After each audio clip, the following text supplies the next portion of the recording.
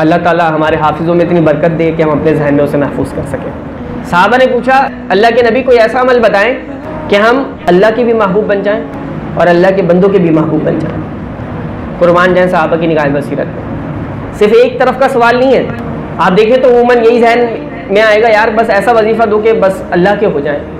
साहबा ने क्या पूछा?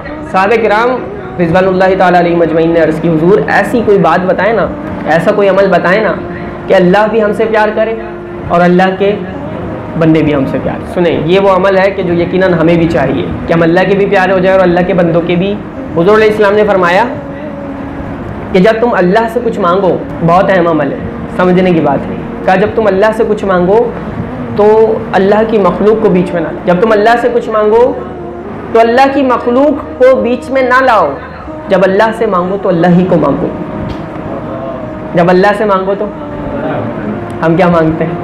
हमारा दिल का हाल हम खुद बेहतर जानते हैं। हमारा बिल्कुल उलट है मामला। अभी आगे सुनेंगे ना, आप कहेंगे, वाकई उलट है। जब अल्लाह से मांगो तो अल्लाह को मांगो। अल्लाह की मखलूक को बीच में ना लाओ। और जब अल्लाह की मखलूक के साथ मामला करो तो अपनी गर्ज को बीच में मत लाओ। अपने मतलब को बीच में मत लाओ। बेमतलब, बेगर्ज, बेलॉस, अल्लाह की मखलूक से प्यार करो। अल्लाह के भी प्यारे हो जाओगे, अल्लाह के बंदों के भी प्यारे हो जाओगे। हमारा क्या मामला है?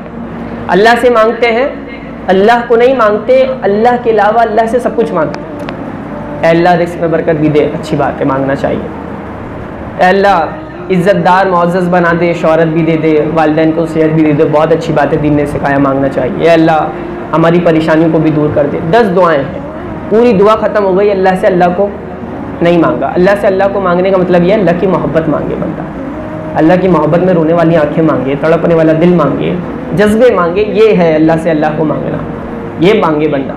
और जब बंदों से हम मामला करते हैं, बस तो फिर मैं और आप बेहतर जानते हर बंदे से, तकरीबन हर बंदे से जब भी कोई हमारा रबता होगा, कोई मतलब कोई गर्ज, कोई मकसद, कभी बेलॉस बेमकसद, बेगर्ज होकर किसी से मिलें कि यार मेरा कोई काम नहीं निकलता, कोई कर्जा भी नहीं चाहिए, कोई फ़ोन कॉल भी नहीं करवानी, कोई फेवर भी नहीं चाहिए। आपसे अल्लाह की मोहब्बत में मिलने आया हूँ। आपसे अल्लाह की मोहब्बत में बात करना चाहता हूँ। आपसे अल्लाह की मोहब्बत में आपके दर्स में आ गया हूँ कि आप कुरान हदीस की बात सुना दें। अल्लाह की मोहब्बत में आपसे रबता है, आपको सुनना चाहता हूँ कि आप सनाफानी सुना दें। कैसे अल्लाह के लिए हो रहा है मामला? गर्ज बीच में? का अल्लाह तुम्हारे, अल्लाह के बंदों में ना, अल्लाह की मखलूक में अल्लाह तुम्हारी मोहब्बत डाल देगा। अल्लाह के बंदे भी तुम्हें चाहेंगे और रब भी तुम्हें चाहेगा। रब की मोहब्बत भी मिल जाएगी। तो ये वजीफ़ा है असल में कोई।